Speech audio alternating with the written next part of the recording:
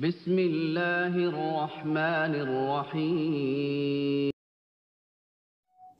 আসসালামু আলাইকুম রহমতুল্লাহ ওবরাকাত সম্মানিত দর্শক শ্রোতা আজকে আপনাদেরকে যে বিষয়টি জানাবো সেটি হচ্ছে নাভির নিচের লোম আপনি কতদিন পর পর কাটতে হবে?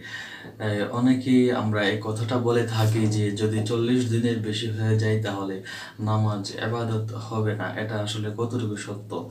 এ বিষয়ে ইনশাআল্লাহ তাআলা সহি হাদিসের আলোকে আলোচনা করব। এর আগে আমি বলতে চাই আপনি যদি আমার এই চ্যানেলে নতুন হয়ে থাকেন তাহলে অবশ্যই সাবস্ক্রাইব করবেন লাইক কমেন্ট করতে কিন্তু ভুলবেন না।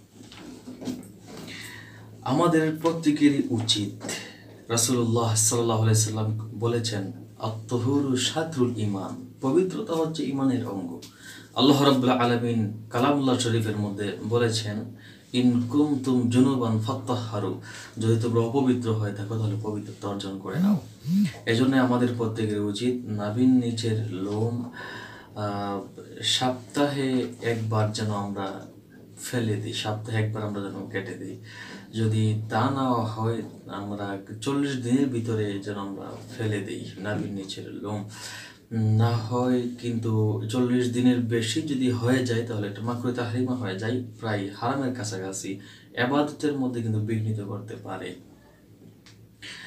এই ব্যাপারে অনেকগুলো হাদিস রয়েছে। এর মধ্যে থেকে আমি একটা হাদিস আপনাদের সঙ্গে উল্লেখ করতে চাই, সেটি হচ্ছে মুসলিম শরীফের দুইশত আঠারো নম্বর হাদিসে হজরত আনাস রাদি আল্লাহ আনহু থেকে বর্ণিত, তিনি বলেন, নবীজি সাল্লাহ সাল্লাম আমাদেরকে এই গুফ, মুখের গুফ, বগলের নিচের লোম এবং নাভির নিচের লোম এগুলো সম্পর্কে বর্ণনা করতে গিয়ে বলেছেন, লা আকসার মিন আরবাইনা ইয়াওমান যাতে করে নাভির নিচের লোম গুফ এবং বগলের লোম যেন চল্লিশ দিনের বেশি না হয়ে যায়।